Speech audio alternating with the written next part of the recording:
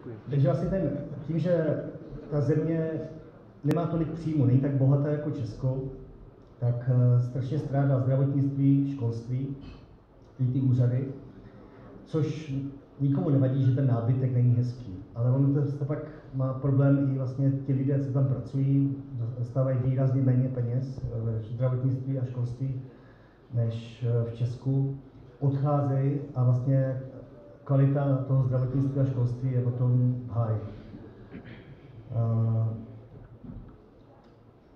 tam se kradne, vlastně to, co se mi stalo na Slovensku, se mi v životě, by se mi v životě nestalo v, uh, v Česku. Jo? Nedodržování zákonů.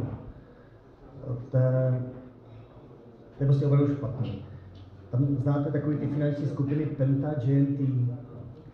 Tyto firmy na Slovensku, tyto firmy si rozparcelovaly Slovensko a rozdělili si jej územně nebo podle biznisu, třeba zdravotnictví Penta. A tyto firmy ovládají tyhle ty politiky, s kterými se, s kterýma se uh, dělí. Penta a GNT funguje taky v Česku, ale úplně jiným způsobem. Tady by si nedovolili to, nedovolili to co, co dělají na Slovensku. Tady bych možná dokonce řekl, že i Penta tím, že jde do lékáren a má zájem o zdravotnictví, tak může být dokonce i prospěšná, protože jsou to finančníci a mohou potom třeba tu nemocnici uh, řídit efektivněji než nějaká krajská socialistická nemocnice, prostě někde, někde nebo většina fakultních nemocnic, to jsou všechno, asi všechny fakultní nemocnice jsou státní. Takže naopak bych řekl, že třeba taková ta dravost Penty může být pro Česko naopak možná i přínosem, že najednou vidíme, hele, ta nemocnice vykazuje zisk, je efektivní a je možný, že ta státní nebo krajská je na tom špatně. Ale na Slovensku si to prostě rozparcelovali ten biznis a tam, tam byl obrovský zázrak, že se stalo to, že tam v podstatě pravicové strany de facto získaly většinu, ale ty, které dlouhodobě byly ty, ty staré, to znamená Maďaři a SNS, to jsou taky takový polofašovní, tak, uh, tak ti se cukli a řekli, že jdou s Ficem. Protože Fico musí za každou cenu, i kdyby každému poslancovi dali 10 milionů eur, jak se mu vyplatí udržet tu vládu na další čtyři roky, jinak ho zavřou. Takže pro ně je to otázka života a smrti. Optimálně by byly předčasné volby, mají nádherného prezidenta, super. A ta právě pravice, která tam začala vznikat, tak se pěkně skonsolidovala, ale prostě nemá šanci, protože ten Fico je musí, uh, musí ukecat. Je to prostě úplně jiný svět, podniká se tam úplně těsně. Vlastně šéf těch SNS, Slovenské národné strany, která dlouhodobě předtím, ještě za Mečera, fungovala proti maďarismem, antičechismem, teďka nové době na Slovensku funguje strašně taková ta migra, protimigrantská vlna, ať už úst toho Fica nebo tady těchto SNS, tak ten šéf SNS řekl, že až on bude ve vládě, a to už jisté, že bude, tak žluté autobusy a vlaky půjdou ze Slovenska pryč. Jo, takže že tam asi balíme kufry. Já jsem jenom na tohle právě chtěl navázat s okolností, protože o, přesně on doslova řekl, tuším, že nesnáším žluté vlaky. Yeah. Tak nějak to bylo. E, ono konec konců, oni vám tam na tom Slovensku házeli hodně klacky pod nohy. Už jenom tím vlastně, když vy jste tam přišel a to, co oni udělali. No to je prostě něco jako když jdete pro živnostenský list, tak máte právo, abyste ho dostal. Vlastně tak, když si jdete o licenci na nedotovanou dopravu, autobusovou, ale železniční, tak má, na té lince má právo jezdit tisíce dopravců. Prostě to je linka Nitro, Nitro, Nitra, Bratislava. Prostě normální pitomá autobusová linka, kde jezdí spoustu dopravců slovenských, a najednou tam přišel Čehůr, nikoho, nikoho se nepýtal, požádal o licenci a oni šup mu nedali v raj a ten nároková licence. Na, na, na, primátor napísal, že nemá žádné podněty od občanů, že by ještě další autobusy chceli.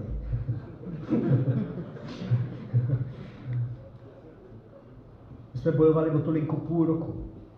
Do dneška ji nemáme tu licenci, po roce a půl. Tak jsme, eh, tak jsme zašli za, že ta linka pokračuje až do Banské Bystrice, kde kde je župan uh, Kotleba, župan je hejtman. Oni jsou županů, asi tam chodí, nevím. Tak ten Kotleba, to je ten vlastně ten, ten slavný Kotleba, který je z těch fašistů nejvíc fašistovatější, to asi jo. Ale díky tomu, že má tuhle tu uh, na, nacionální úchylku, ale tu, mají, tu, mají, tu má i Fico, i, i, i ta SNS, i ten Danko, ale on možná trošičku větší, tak většinou tíhle lidé, kteří mají tu úchylku takhle velkou, tak uh, je to pro ně tak důležitý, že při té příležitosti nekradou. Když je někdo nějak, tak zase často se stává, že v tu chvíli pro něho není tak důležitý to kradení. On si myslím, že opravdu jako nekrade, protože není součástí systému. On byl pro, jo, to byl prostě, de facto je to člověk proti, proti Ficovi. A tím, že byl proti Ficovi, tak on řekl, že dodržovat zákony bude, že na tu linku máme právo, prostě ji vydal. Jo, takže naštěstí tam funguje jediný župan, který je, je mimo systém. Tam prostě v té nitre, nitra, to je tam bratr od Fica, to tam všechno uh, řídí. A vlastně to kradení na Slovensku je strašně jednoduché. To v Česku fakt neexistuje takhle ve velké míře. Když se udělá zakázka, tak ta, to veřejná zakázka se udělá způsobem, aby se mohl přihlásit pouze jeden, jedna jediná firma. A to uděláte tak, naprosto de facto legálně, že uh, zúžíte kvalifikační kritéria. Řeknete len firma, co má žluté, uh, žlutou barvu třeba, jo? A nebo časová kritéria. Prostě ten, kdo má, pět, kdo, kdo, kdo má 500 autobusů, je schopen za měsíc jezdit. A takhle se tam prostě soutěží úplně cokoliv.